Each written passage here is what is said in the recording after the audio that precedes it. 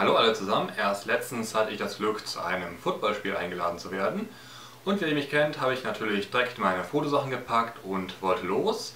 Eingepackt hatte ich das Analyt aus München, wer das Objektiv jetzt nicht kennt. Ich habe das hier in dem Video ausgepackt. Habe es mir aber vorher nochmal vorsichtshalber im Gegenlicht angeguckt, weil ich irgendwie in Erinnerung hatte, dass ich das nicht richtig sauber gemacht hatte. Und dann habe ich mit Erschrecken festgestellt, das ist richtig dreckig.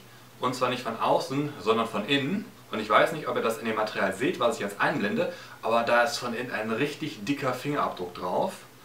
Und das bedeutet, dieses Ding muss dringend gereinigt werden, und zwar von innen. Und dazu werde ich es zerlegen. Und da sind wir auch schon wieder. Und zwar mit allem, was wir brauchen. Natürlich als erstes mal das Objektiv. Dann, wie immer bei mir, destilliertes Wasser und Q-Tips. Und weil ich gesehen habe, dass schon von der Frontlinse dieser Rotz, also ich habe keine Ahnung, was da für eine Schmiere drauf ist, nicht richtig weggegangen ist, nehme ich hier diese Hammer Reinigungstücher, denn ich habe leider kein professionelles Lensreiniger-Zeug, also eine Flüssigkeit. Dann brauchen wir diese dicken Stopfen hier, um das Objektiv aufzukriegen und damit wir es mit den eigenen Fingern nicht wegsauen, Handschuhe. Ich ziehe jetzt erstmal die Handschuhe an und spreche hier nochmal deutlich die Warnung aus. Objektive aufschrauben. Das verschlechtert meistens immer die Optik und Objektive zu öffnen ist immer eine Entscheidung zwischen Pest und Cholera. Und zwar habe ich hier leider weder die Ausbildung noch die Messgeräte, um sicherzustellen, dass danach die ganzen Linsen wieder richtig justiert sind. Das bedeutet, Objektive nicht öffnen, nur weil so ein ganz klein bisschen Zeug drin ist, sondern erst öffnen, wenn es wirklich nicht mehr anders geht und das Objektiv richtig verschmutzt ist. Das ist hier meiner Meinung nach der Fall. Ist natürlich aber auch wieder Ansichtssache. Als erstes, um das Objektiv aufzumachen, gucken wir jetzt hier erstmal. Ups, das hätte nicht passieren sollen. Welches Ding hier passt, das ist es nicht. Das ist es, super. Dann drücken wir das hier mit der Kante hier gegen und schrauben den Namensring weg. Diese Dinger hier sind allerdings mit 40 Euro aus eBay China auch ein bisschen teuer. Das kriegt man auch günstiger hin. Zum Beispiel kann man hier auch gut einfach einen Gummischlauch und eine Objektivkappe benutzen. Und das Ding ist schon ab. So, jetzt gehen wir vorsichtig her und kippen die Linse. Da haben wir unser Element. Das Objektiv am besten jetzt so hinstellen, dass es von oben nicht zustaubt, denn Staub ist ein großer Feind von uns. Hier haben wir jetzt das wunderschöne Frontlinsenelement. Legen das vorsichtig ab, nehmen uns unser Hammer Reinigungstuch. So, ja. Geh auf, das ist immer so ein bisschen ein Problem mit diesen Wollhandschuhen hier. Und gehen her. Ich gucke mal, ob ich den Fingerabdruck sehe. Ja, da sehe ich. Ich weiß nicht, ob ihr das auch so gut seht, aber in der Innenseite ist richtig Motsche drin.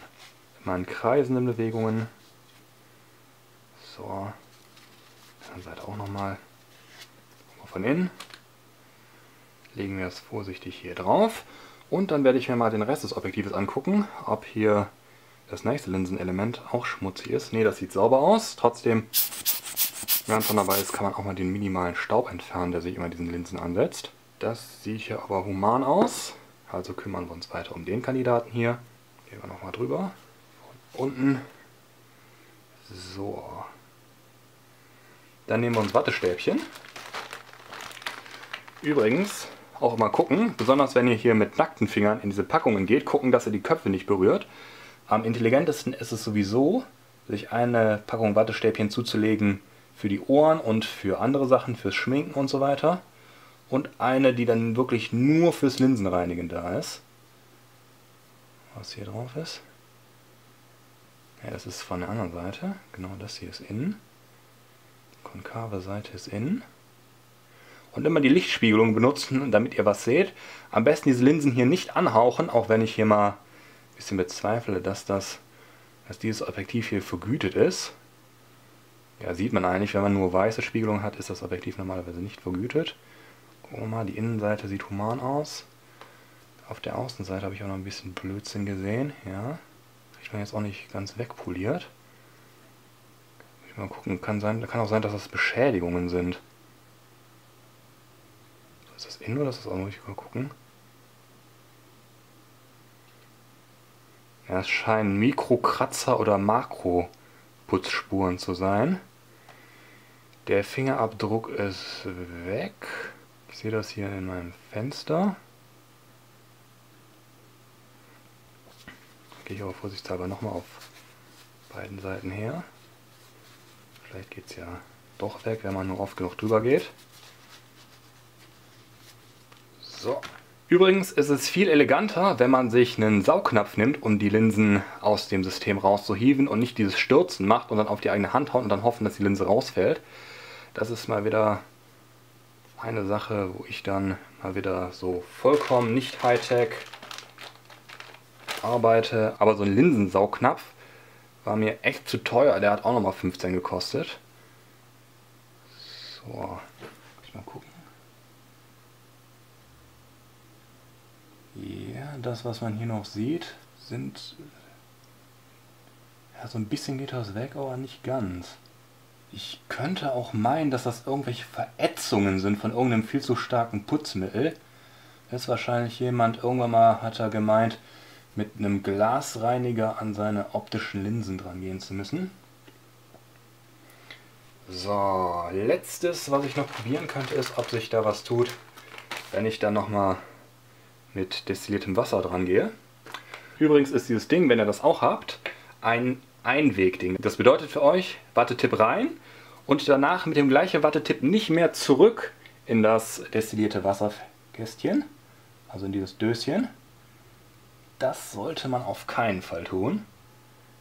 Ja, ist auch cool, dass ich hier so einen Härtefall habe. So kann ich im Video einmal alle Härtefälle präsentieren, die einem so begegnen können, wenn man diese Convuls kauft oder billige Linsen im Internet.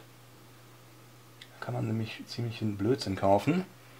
Oh, Backe, jetzt lösen sich hier, löst sich hier der schwarze Lack von den Linsenrändern ab und meint hier über die Linse wandern zu müssen. Natürlich auch nicht cool.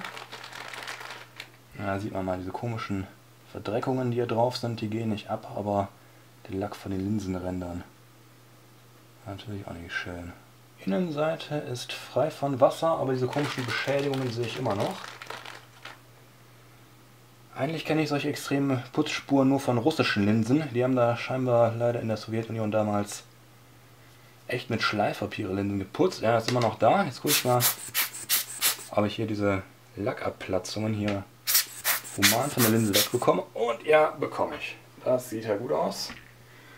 So, jetzt überprüfe ich die Linse nochmal. Die Beschädigungen sind immer noch vorhanden und ich sehe auch noch so ein Stück vom Fingerabdruck. Dummerweise, was ist denn da drauf? Das ist wahrscheinlich irgendeine Substanz, die sich da reingeätzt hat. Das ist ja ein bisschen ärgerlich, aber versenken wir die Linse wieder. Vorsichtig. So, gesessen. So ein bisschen Staub. Und wir schrauben auch das Namensschild wieder hinein. Erstmal Drehung können wir mit den Fingern machen, den Rest machen wir unserem Freund, dem... Ich weiß gar nicht, wie die Dinger heißen.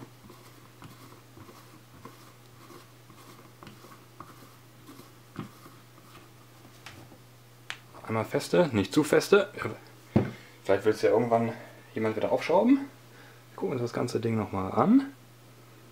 Und das Ding sieht besser aus als vorher, aber diese Sachen sind echt nicht ganz weggegangen. Weiß Gott, was der Vorbesitzer drauf gekippt hat. So, das war's auch schon fast mit dem Video. Wir sehen uns in einem anschließenden Testvideo. Mal gucken, ob unser Münchner Enerlit jetzt ein paar mehr Linien Und da bin ich auch schon wieder. Und zwar mit dem Testchart. Da bin ich mal gespannt, ob wir hier mehr erreichen.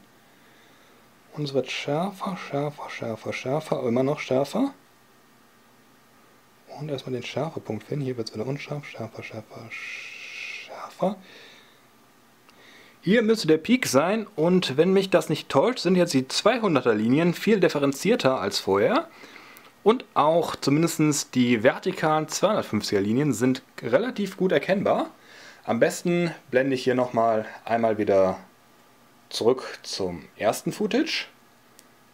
und das müsste dann besser zu beurteilen sein. Was ich auch noch kurz sagen muss, ist, dass ich das Elmarit eben noch einmal aufgeschraubt und noch einmal gründlich durchgeblasebalgt habe weil da doch dann schon ein paar Sachen drin rumgeflogen sind, die mir dann so nicht wirklich gefallen haben. Es ist auch immer so, dass wenn ihr nach dem Zerlegen eines Objektivs und dem anschließenden Prüfen auf Staub oder so feststellt, dass da zu viel Staub drin ist, lieber noch einmal aufmachen, lieber nochmal durchblasen, nochmal nochmal zumachen. Das könnt ihr so oft machen, wie ihr wollt, solange bis ihr ein möglichst staubfreies Objektiv habt.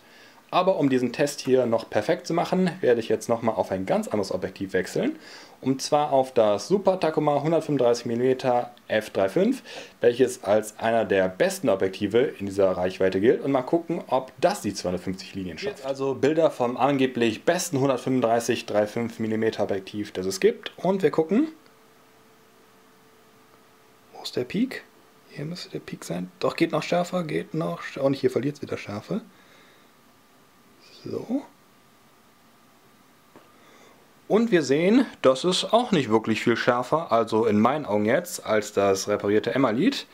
Die 200 mm Linien sind beide gut erkennbar und auch die 250 mm Linien sind gut. Das ist ja doch besser. Wollen wir den Peak? Wollen wir den Peak? Da haben, da, hier müssen wir den Peak haben. Allerdings kann ich das auf dem kleinen Monitor wirklich nicht gut beurteilen, aber ich könnte schon glauben, dass die 255 mm, nein, die 250 mm Linien sehr gut zu erkennen sind. Ich blende mal wieder hier einen Vergleich zum reparierten Emmerlied ein. Bevor ich jetzt aber vielen Dank fürs Zugucken und bis dann sage, habe ich hier noch eine Information für euch. Und zwar hat ein anderer analoger Kanal, den ich sehr schätze, der auch früher angefangen hat als ich, angekündigt, wieder Videos zu machen. Ich verlinke den guten mal hier. Na gut, ihr könnt jetzt meine Finger nicht sehen. Der Gute nennt sich Pamato Photography. Er hatte damals ein Format im Programm, welches sich Back to Analog nannte. Das habe ich damals sehr gerne geguckt und würde mich echt freuen, wenn das wiederkommt. Noch hat er nicht genau angekündigt, was da kommt, aber ich freue mich trotzdem schon mal. Dann sage ich vielen Dank fürs Zugucken und bis dann. Das geht doch wunderbar.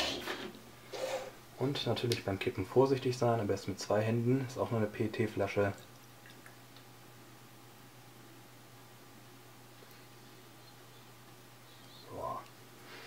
Ich habe übrigens vorgenommen, demnächst mal ein bisschen präziser zu arbeiten, was die Entwicklung angeht. Oh, wie das Zeug so überhaupt keine Geräusche macht, wenn man es durch die Gegend kippt und hineinkippen. Leider hat dieses Ding hier keine Angaben, wodurch ich nicht kontrollieren kann, ob das jetzt genau ein Liter geworden ist. Aber das müsste so